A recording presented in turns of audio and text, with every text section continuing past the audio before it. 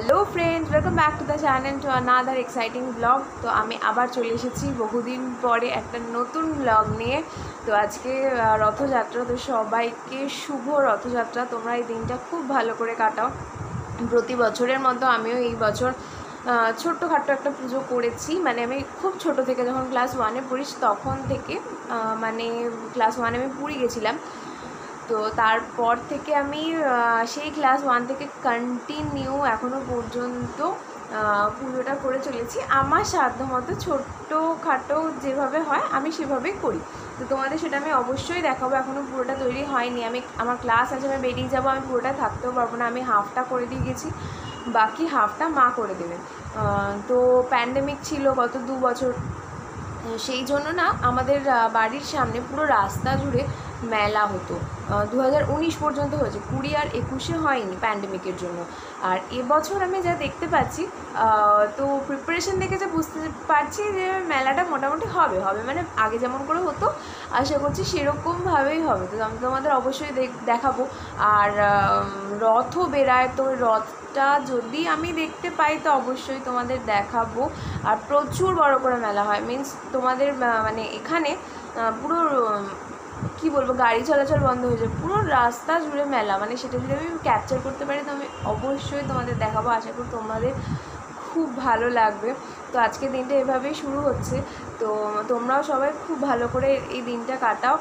আর সবাই খুব আনন্দ করো, খুব জিলিপি আর পাঁপড় ভাজা খাও। তো চলো, দেখা হচ্ছে আবার কিছুক্ষণ পরে।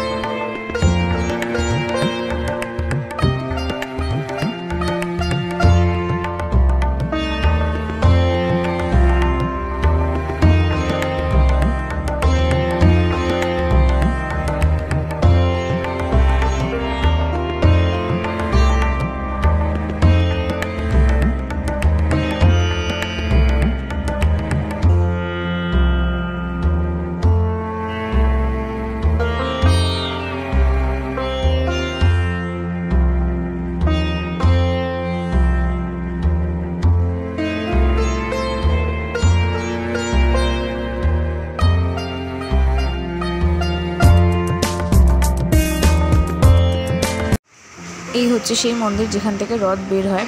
এখন পুজোর প্রস্তুতি চলছে। আমি শুনলাম সাড়ে চারটার সময় রথ বের হবে। আমি যদি পারি তো তোমাদের অবশ্যই দেখাবো। এই রথটাকে ঘিরেই কিন্তু এই যশোর রোডের ওপরে পুরো মেলাটা বসে। আর এই মেলাটা বহু পুরনো। মানে আমি শুনেছি আমার বাবাদের জন্মের আগের থেকে এই মেলাটা হয়। এই রথটা করেই প্রভু বের হবেন সামনের রথটা। এই রথটাও অনেক বড়। মানে এখানকার সব থেকে বড় রথ হচ্ছে এইটাই এই রথে চেপেই জগন্নাথদেব মাসিবাড়ির উদ্দেশ্যে রওনা হবেন। আমার ফিরতে অনেকটাই লেট হয়ে গেছে। আমি বাস থেকে নেমেই দেখছি যে রথ বের হয়ে গেছে, তো আমিও রথের দড়ি ধরে টেনেছি। তো এত আওয়াজ, তাই জন্য আমি ভয়েস ওভার দিয়ে দিলাম। সকালে যে রথটা তোমাদের দেখাচ্ছিলাম, এইটাই সেই রথটা। এখন বাজে বিকেল পাঁচটা, তো সাড়ে চারটার সময় বেরিয়ে এটা আমার বাড়ির সামনে দিয়ে যাচ্ছে এখন। মেহুলের এবছর প্রথম রথের মেলা দেখা কারণ দু বছর প্যান্ডেমিকের জন্য মেলা বন্ধ ছিল, আমি তোমাদের আগেও বলেছি, তাই জন্য ও কখনো মেলা দেখেনি। তো এটাই ওর ফার্স্ট মেলা আর ও রথ নিয়ে বেরিয়েছে। এটা ওর ফার্স্ট রথ টানা। আমরা সবাই মিলে মেলায় চলে এসেছি। মেলায় এসেছে দিদি, মা, বম্মা, মেহুল আর আমাদের মাসি তো মেলায় তো বেরোলাম। এবার প্রচুর ভিড়, প্রচুর মানে এত মানুষ এসেছেন সবাই মানে আমাদের মতো দু বছর ধরে ওয়েট করছেন। খুব তোমরা দেখতেই পাচ্ছ এত লোক, এত ভিড় জাস্ট বলার মতো নয়, প্রচণ্ড আওয়াজ হচ্ছে, গান হচ্ছে দিয়ে কপিরাইট ক্লেম করবে বলে আমি কিন্তু ভয়েস ওভার দিচ্ছি। তো তোমরা দেখো পুরো ভিডিওটা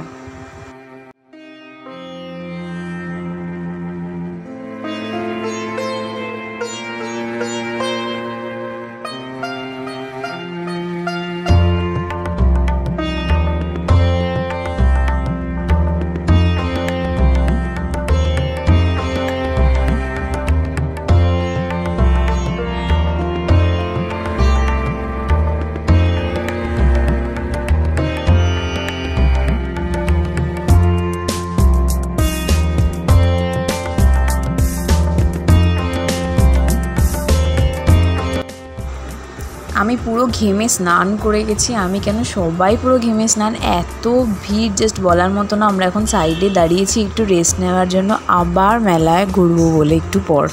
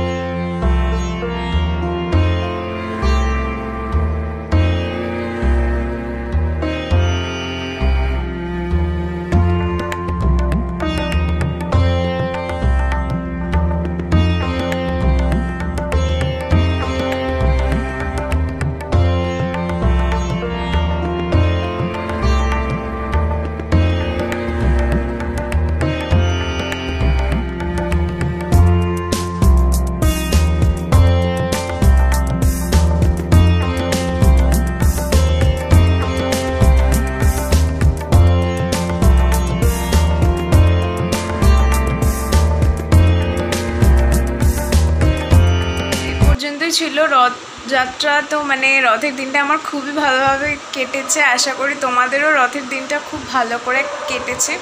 তো তোমরা আমাকে অবশ্যই জানিও তোমাদের রথের দিনটা কীভাবে কাটলো। তো আজকের ব্লগটা এই পর্যন্ত। যদি আমার ব্লগ তোমাদের ভালো লেগে থাকে তাহলে অবশ্যই লাইক করো কমেন্ট করো অ্যান্ড সাবস্ক্রাইব করে দিও। Tata good night